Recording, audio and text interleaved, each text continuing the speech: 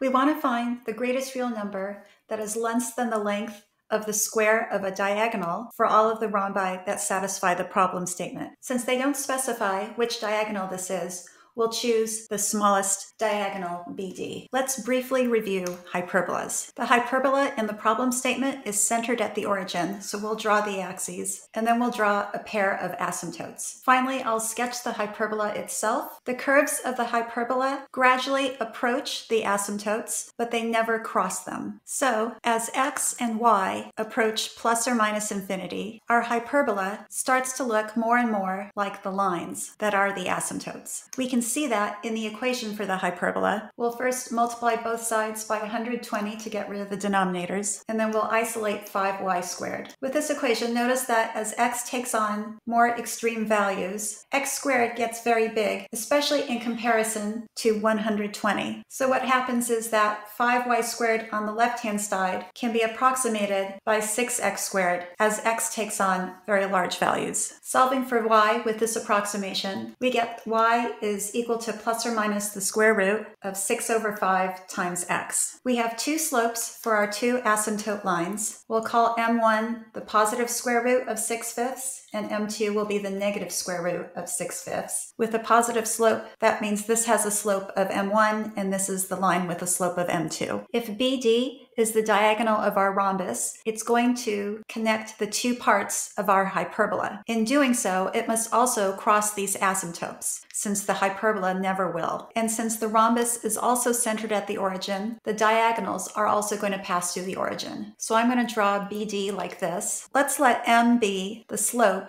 of this line segment BD. In order to connect the two parts of this hyperbola, the slope of BD must be between the slopes of M1 and M2. So I'll write this inequality here. We can abbreviate this by writing that the absolute value of m is less than the square root of 6 fifths, and let's square both sides. Our rhombus has a second diagonal, AC, and since the diagonals of a rhombus are perpendicular, it's going to be perpendicular to diagonal BD. This means that the slope of this diagonal is going to be the negative reciprocal of the slope of BD. And again, this diagonal is going to cross our two asymptotes to join the two parts of the hyperbola. So we have this other slope is between the slopes of our two asymptotes. We'll rewrite this as an absolute value and square both sides and solve for m squared. So now we have an upper and lower bound on m squared. Let's see if we can express bd squared in terms of m. Returning to our diagram, by the symmetry of the rhombus and the hyperbola, if our point D has coordinates x and y, then point B has coordinates negative x and negative y, and we'll label the origin O. And we also have that our points B and D are on our line that passes through BD, and they're on the hyperbola. The line that passes through B and D, since it passes through the origin, can be written like this, where MS has the bounds that we found earlier. And we have the equation for the hyperbola that we found earlier. So first let's substitute for y in our hyperbola equation and we'll solve for x squared. We can do the same thing, this time substituting for x squared in our equation. x over here is y over m. And then we'll solve for y squared. Looking back at our graph, we have that the distance from b to d is twice the distance from d to the origin, squaring both sides. And do